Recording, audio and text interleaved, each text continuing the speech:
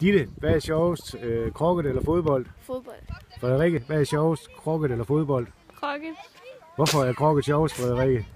Øh, det ved jeg ikke. øh, Jeg synes bare, det er sjovt. Og hvad med dig, Ditte? Er det sjovt at spille krokket, så når fodbold er sjovere?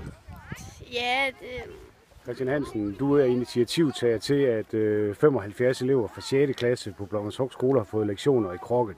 Hvorfor har du taget det initiativ?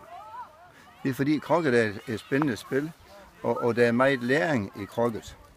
Fordi at, øh, krokket er, er ikke bare et, et havespil, men det er også et spil, hvor man øh, øh, skal tænke, og den, man laver planlægning i krokket. Og, og det er, krokket er lidt ligesom skak, at man skal øh, vurdere, hvordan øh, de fremtidige slag de bliver. Det er startet op af, af de gråhårede, som har fået tid men, men uh, der er rigtig mange, der kan have fornøjelse af det. Der er unge mennesker, som øh, er startet i, i skoletiden før. De, holder, så, de har så holdt en pause på grund af arbejdet.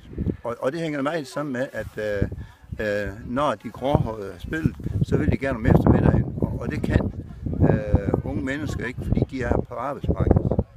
Så, men hvis krokket skal have en udvikling, så skal man have fat på de unge mennesker og børnene.